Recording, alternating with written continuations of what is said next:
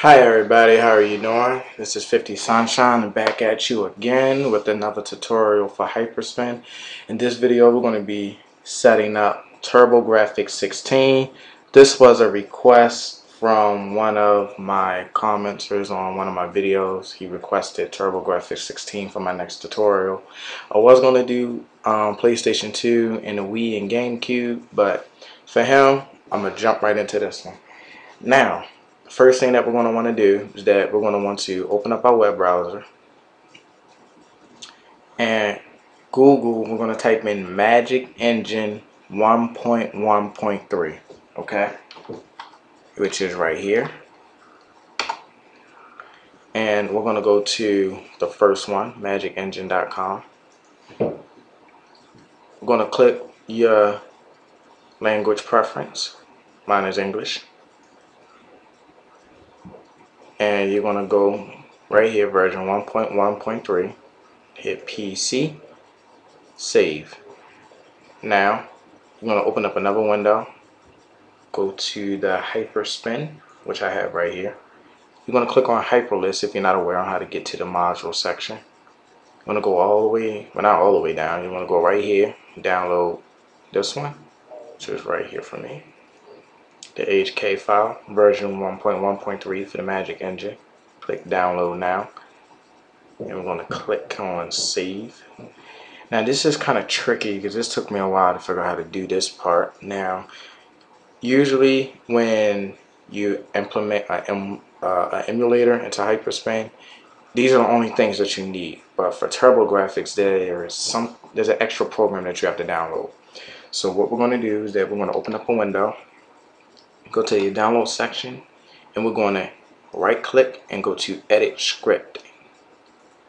Now in there you see this right here there's NoMousy. This is a program that you need for TurboGrafx. So they give you the link in the HK file which is beautiful. So we're going to copy this link right here and we're going to paste it into the web browser. Now voila and we're going to scroll down to the bottom of the thread. Not the whole entire thread just this post right here. And we're going to hit download. And we're going to save it. Alright now that we got all of that done we can close out the browser. Close out the script. And voila here are beautiful programs and files right here.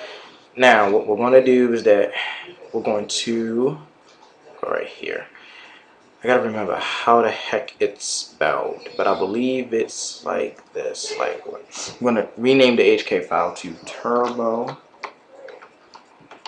Graphic space 16. If I didn't spell this right, it's gonna tell me because I can't remember exactly how it's spelled.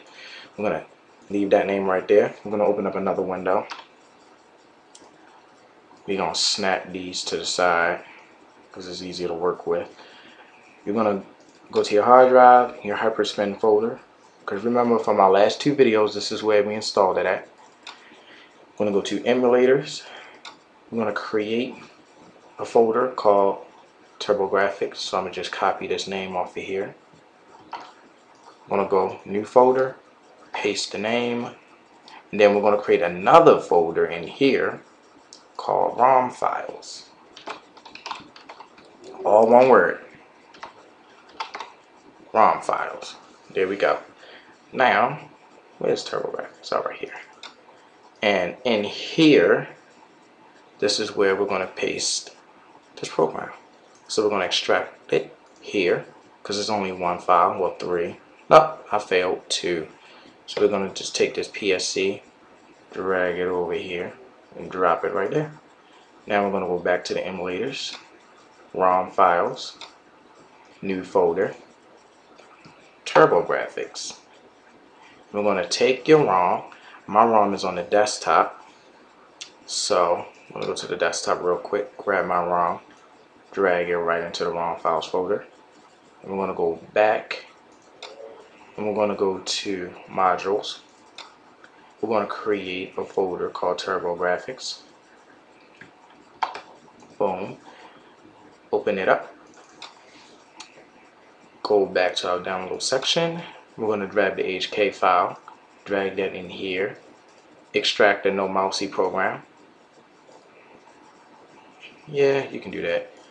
Take NoMousy, drag it in here. Go back to the hyperspin root of the folder, go down to Hyper HQ, launch it, voila, there we go.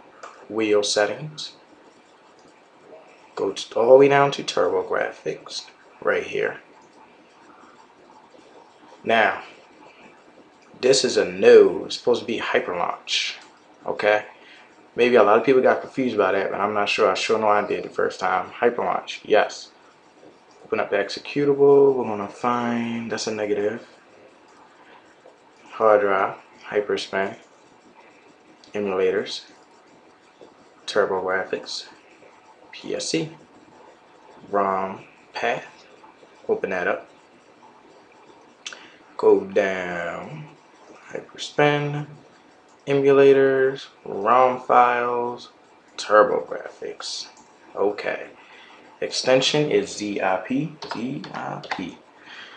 Alright. That's taken care of and that's done. We can exit out of here, I believe. Yes. Now, that that's done, we're going to go to the emulators folder. And what you're going to want to do is that you're going to want to run TurboGrafx first so you can set your settings up. So go to TurboGrafx, hit the pce.exe. Alright, if you wanted to run a full screen, click full screen.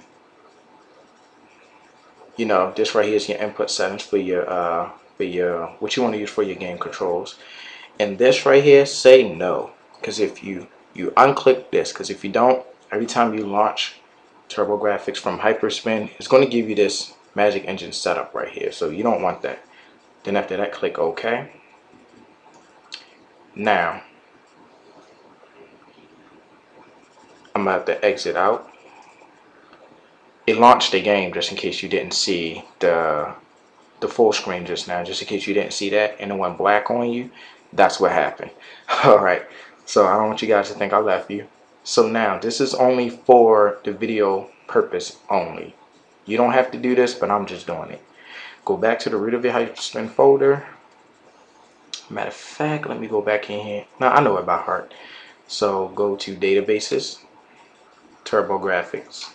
I'm doing this because this game is not in here. It's not in the database already. Or if it is, it's named something weird.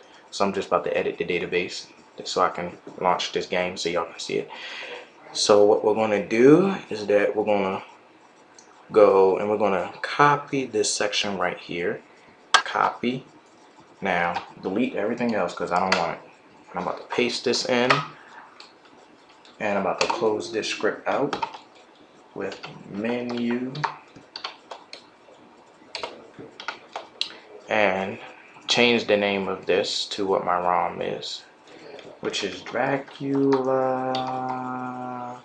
What is it? Dracula X2 I think. I don't know but if it is. Alright do the same thing right here.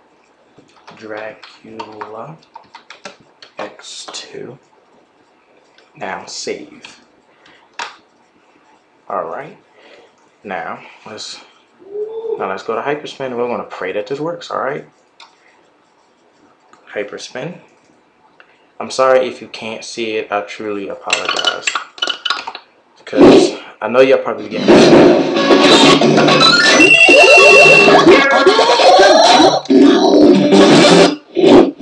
Dracula X2. You see it right there? Like I was saying, I don't know if you heard me because of the oh, the sound effects.